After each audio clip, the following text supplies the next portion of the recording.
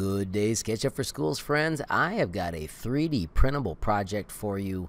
I am going to start you out in SketchUp for Schools. You could, of course, be in My.SketchUp. The first thing you need to do, though, is get to Simple Template Millimeters. If you're going to be printing, it is smart to work in millimeters. Step one, of course, delete the dude.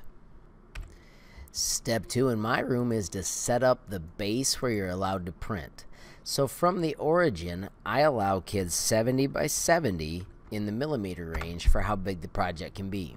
Notice it starts out really large and then we use the really nifty zoom to extents to get to where we can see it. I'm going to roll the scroll wheel back, I'm going to hold the orbit tool as I move, and let me show you how to build a cool letter in this area. Or actually, I'm going to build a number so that it's quick and fast.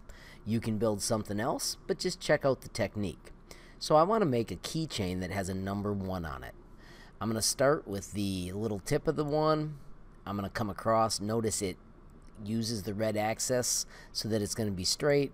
I'm going to come down, stays on the green axis. This is kind of nice. It infers so that I know that they're at the right spot. You can see it snaps that green line when it's correct. And I'm going to come across like that. I'm going to make my one this long Notice it uh, shows me when I match the red, and I'm going to come across. I could have measured this to make it perfect, but I'm just showing you quickly how to build it. Once you've got your base of your letter, you can erase the outside because you're already sure that it fits in the design. We're going to take this keychain and raise it up 2 millimeters, and we're going to do that with the awesome push-pull tool. Simply push it up, type 2, and press enter, and your keychain is designed. But to make it two colors on a one color printer, we are going to create a cool ridge that we tap the other piece into. We're going to do that with the amazing offset tool. Click offset, click the front of your design, click it once so it's adjustable. If it doesn't adjust, just do undo, and we want to make a 2 millimeter ridge. Go back to your push pull tool, and let's push pull that ridge and let's go two millimeters up. So now we've got an awesome area to put a inset piece in. Before we do that area though, let's add the hole for our keychain.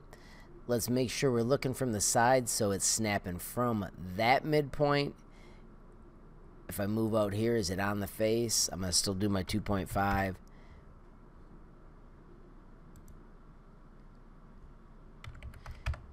And there it is, 2.5, and it's on the face. I want to make a copy of this, so I'm going to double click it. Notice it grabbed all of the number one. I can do Control C and I can do Control V to just paste it out in space. I'm going to do M for move. I'm going to grab one of the endpoints. I'm going to go to the origin and then slide across and it stays right on that red axis. So now I'm guaranteed that these all match up. Let's do push pull. When we push the hole through, tap a corner so that it cuts it out. Go back to push pull for this piece and raise it up one millimeter.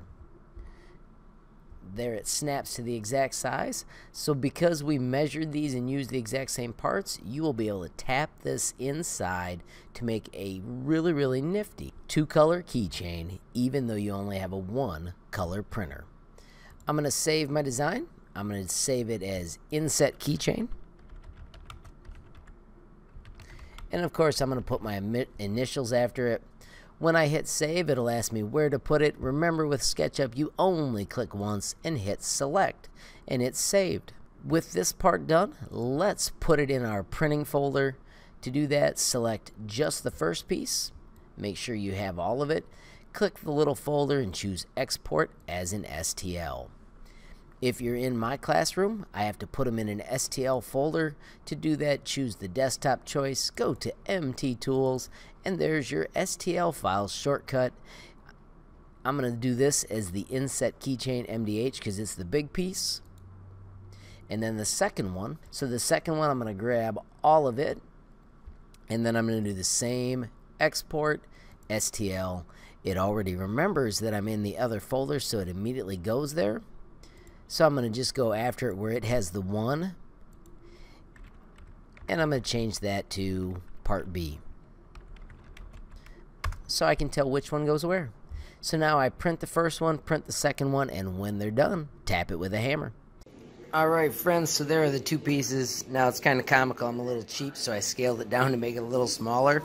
So now mine's so thin it might be hard to snap in, but let's see what it looks like when I tap them in there.